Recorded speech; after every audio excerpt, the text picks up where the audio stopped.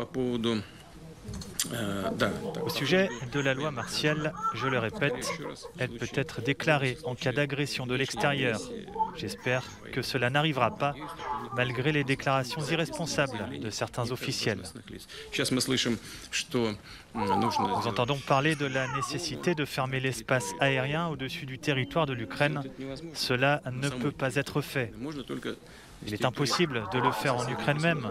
Il est possible de le faire depuis un État voisin, mais tout mouvement dans cette direction sera considéré par nous comme une participation au conflit armé. Vladimir Poutine a ainsi réagi à la demande du président ukrainien Volodymyr Zelensky de créer une zone d'exclusion aérienne en Ukraine, demande rejetée par l'OTAN. Autre priorité pour le président ukrainien, les corridors humanitaires. Nous faisons tout de notre côté pour que l'accord fonctionne. C'est l'une des principales tâches pour aujourd'hui. Voyons si nous pouvons aller plus loin dans le processus de négociation. De son côté, le secrétaire d'État américain Anthony Blinken s'est rendu dans Pologne pour féliciter et apporter son soutien au pays qui a déjà accueilli des centaines de milliers de réfugiés ukrainiens permettre l'évacuation de civils depuis Mariupol et Volnovaka ont été convenus avec la partie ukrainienne, a déclaré le porte-parole du ministère russe de la Défense en annonçant le début de ce régime de silence.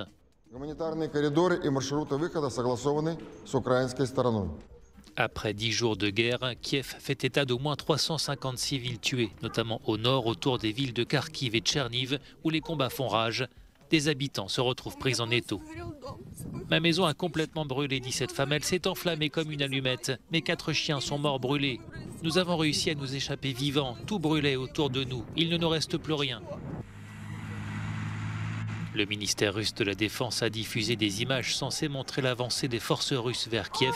Un important contingent militaire est toujours massé aux abords de la capitale ukrainienne, faisant craindre une opération de grande ampleur dans les prochains jours. Aérienne au-dessus de l'Ukraine. La demande du président ukrainien Volodymyr Zelensky a été rejetée par l'OTAN.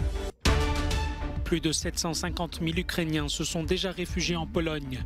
Ils racontent à Euronews comment leur vie a basculé du jour au lendemain. La mobilisation pour la paix en Ukraine se poursuit. Des rassemblements ont eu lieu ce samedi dans de nombreuses villes, de Paris à Rome en passant par Londres, Lisbonne, Zurich ou encore Tokyo. La Russie a annoncé ce matin un cessez-le-feu pour permettre l'évacuation des civils de Mariupol, port stratégique au sud de l'Ukraine, encerclé par les forces russes. Mais le maire de Mariupol a annoncé à la mi-journée que l'évacuation des habitants était reportée, évoquant de multiples violations russes du cessez-le-feu. Ces couloirs humanitaires concernent également la ville de Volnovaka. Uh, they continue to use hard and rockets to bomb Mariupol. Uh, that's why people are very scared. But we decided to move our citizens back because it's not safety to be on, on the streets. La ville très stratégique de Mariupol est actuellement encerclée par les soldats russes. Sa prise permettrait à la Russie de contrôler tout le littoral de la mer d'Azov et permettrait la jonction des troupes venues de Crimée et celles du Donbass. La situation est très tendue, comme en témoignent ces images filmées par des journalistes ukrainiens qui tentent de quitter la ville.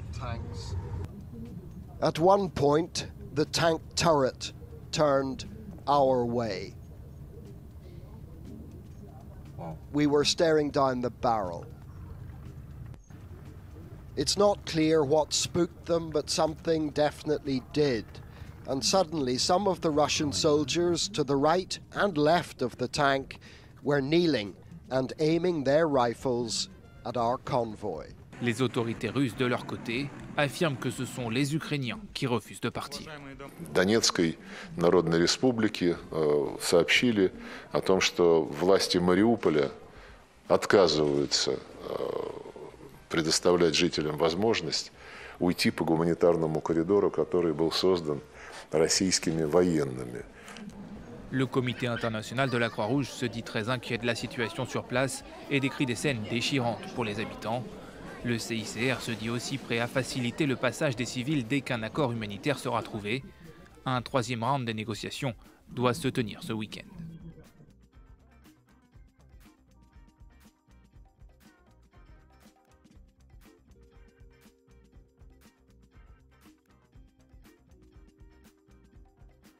Se joue aussi à l'arrière, sur le terrain de la communication. Alors, pour galvaniser les troupes, ces Russes organisent un flash mob, un Z géant, symbole de la victoire, visible du ciel. Si la décision de Vladimir Poutine a choqué une partie du monde, les défenseurs du Kremlin comptent eux aussi se faire entendre. Des chars russes, le Z s'exporte. À Belgrade, près d'un millier de Serbes ont manifesté leur soutien à l'invasion de l'Ukraine. Nous sommes sous le choc. Des frères qui s'entretuent, c'est tragique. Mais c'est nécessaire. Slaves et majoritairement chrétiens orthodoxes, les Serbes et les Russes entretiennent des liens étroits. En tête de cortège, de nombreux nationalistes, comme l'Aden Obradovic, dirigeant de l'organisation d'extrême droite Obraz, officiellement interdite en Serbie. Le système occidental s'est infiltré en Ukraine. Les Russes, nos frères, sont en train de la libérer. Nous espérons qu'ils libéreront le monde entier. Un espoir partagé à plus de 8000 km de là, en République centrafricaine, où un rassemblement a réuni une centaine de personnes. La Russie est aussi un de notre allié. Donc nous, nous sommes là pour apporter nos soutiens indéfectibles à la Russie dans cette guerre. Traditionnellement zone d'influence de la France, ici, la Russie est perçue comme un bienfaiteur. Soutien militaire au pouvoir,